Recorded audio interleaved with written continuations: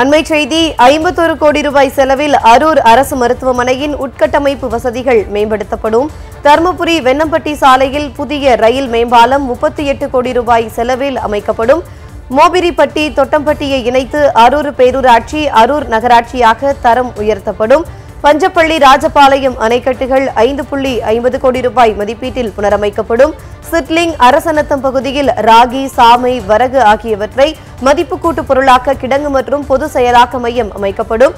தருமபுரி மாவட்டம் தீர்த்தமலையில் துணை வேளாண்மை விரிவாக்க மையம் அமைக்கப்படும்.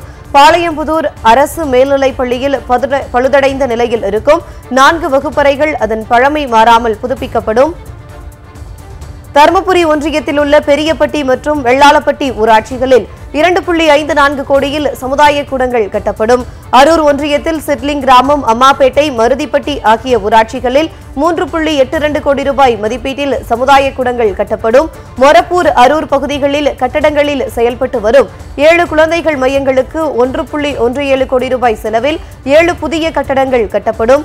கம்பைநல்லூர் பேரூராட்சியில் ஆறு வார்டுகளில் உள்ள ஐந்தாயிரம் பொதுமக்கள் பயன்பெறும் வகையில் புதியதாக திறந்தவெளி கிணறு அமைக்கப்படும்.